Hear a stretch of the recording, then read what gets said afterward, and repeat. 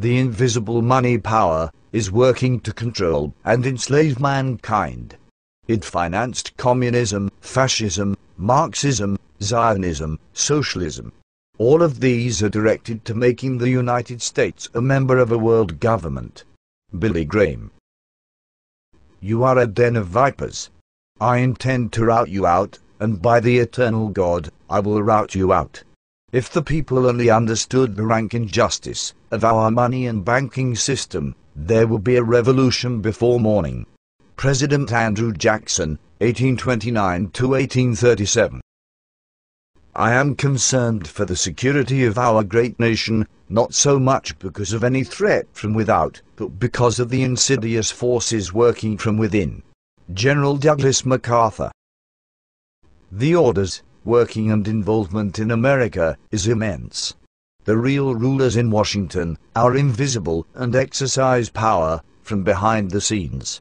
Felix Frankfurter, 1882 to 1965, a U.S. Supreme Court Justice. I believe that if the people of this nation fully understood what Congress has done to them over the last 49 years, they would move on Washington, they would not wait for an election. It adds up to a preconceived plan to destroy the economic and social independence of the United States. George W. Malone, U.S. Senator, Nevada.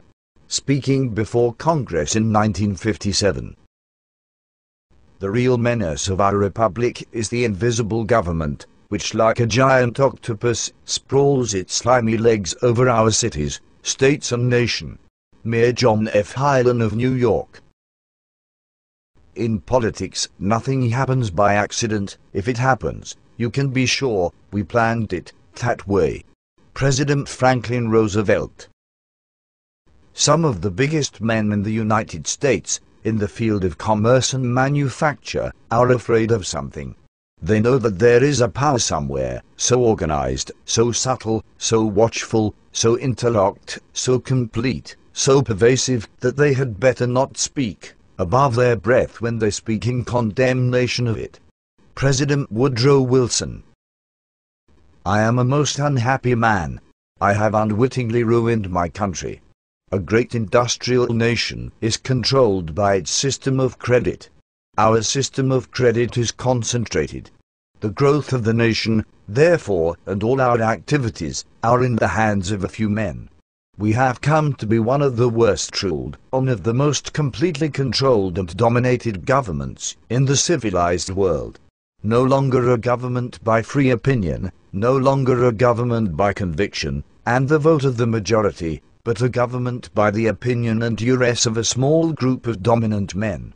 President Woodrow Wilson Single acts of tyranny may be ascribed to accidental opinion of the day, but a series of oppressions, begun at a distinguished period, and pursued unalterably through every change of administrations, plainly proves a deliberate systematic plan of reducing us to slavery.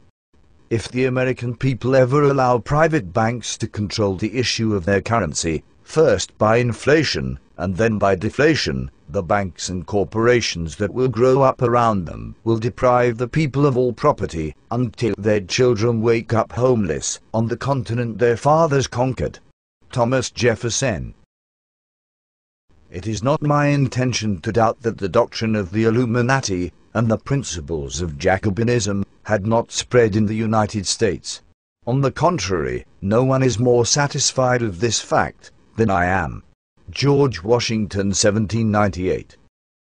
Ladies and gentlemen, the very word secrecy is repugnant in a free and open society.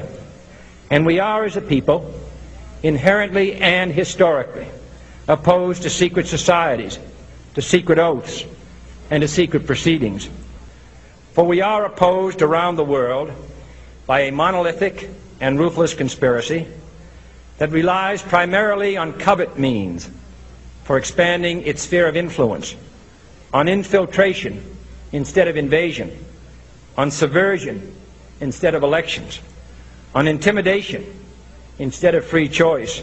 It is a system which has conscripted vast human and material resources into the building of a tightly knit, highly efficient machine that combines military, diplomatic, intelligence, economic, scientific, and political operations. Its preparations are concealed, not published. Its mistakes are buried, not headlined. Its dissenters are silenced, not praised. No expenditure is questioned, no secret is revealed. That is why the Athenian lawmaker Solon decreed it a crime for any citizen to shrink from controversy.